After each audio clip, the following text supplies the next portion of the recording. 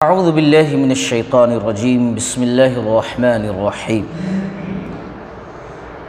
क़यामत की निशानियों में से एक बड़ी निशानी ये भी है कि सूरज मशरक़ के बजाय मगरिब से तुलू होगा। अभी सूरज का सिस्टम कैसा है? मशरक़ से निकलता है, मगरिब में गुरूब हो जाता है। लेकिन क़यामत जब बिल्कुल करीब आ जाएगी, उस वक़्त की निशानी ये है कि इसका बिल्कुल अपोज़िट हो जाएगा, उल्टा हो जाएगा। मगरिब से निकलेगा और मशरक़ में गुरूब होगा। अल्लाह के नबी सल्लल्लाहु अलैहि वसल्लम की हदीस है, सही मुस्लिम की। आप सल्लल्लाहु अलैहि वसल्लम ने फरमाया, अबू ज़र रज़ी अल्लाह तहों से, कहा कि, ए अबू ज़र, क्या तुझे मालूम है ये सूरज कहाँ जाता है? मशरक़ से निकलता है, मगरिब के समत जाता है, ये कहाँ जाता है, तुझे पता है? अबू ज़र रदी अल्लाह तहों ने कहा, अल्लाह उसके रसूल बेहतर जानते हैं। साहब कराम को जब किसी चीज़ का पता नहीं होता तो ऐसे ही जवाब देते थे। अल्लाह के नबी वसल्लम ने फरमाया कि वो मगरिब की समत पहुँच कर सजदे की इजाज़त माँगता है और उसे इजाज़त दी जाती है, तब गुरूब हो जाता है।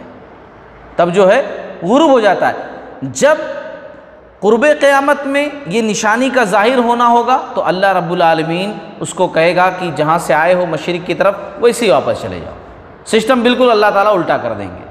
तो उस वक़्त सूरज जो है मगरिब से निकल करके मशरक़ की तरफ़ जाएगा, ऐसा हो जाएगा। और जब ऐसा होगा तो ख़ास चीज़ क्या होगी कि उस वक़्त तौबा का दरवाज़ा बंद हो जाएगा। अभी अल्लाह रब्बुल आलमीन का निज़ाम क्या है? सही मुस्लिम की हदीस है, अल्लाह ताला दिन को हाथ फैलाता है ताकि रात का गुनहगार तौबा कर ले। रात को हाथ फैलाता है ताकि दिन का गुनहगार तौबा कर ले। लेकिन जब ऐसा हो जाएगा, सूरज का निज़ाम उल्टा हो जाएगा तो तौबा का दरवाज़ा बंद कर दिया जाएगा। हालाँकि ऐसा देख करके कि जब सूरज का निज़ाम बदलेगा, ऐसा देख करके बहुत सारे लोग ईमान भी लाना चाहेंगे, लेकिन तब ईमान लाना भी काबिल कबूल नहीं होगा।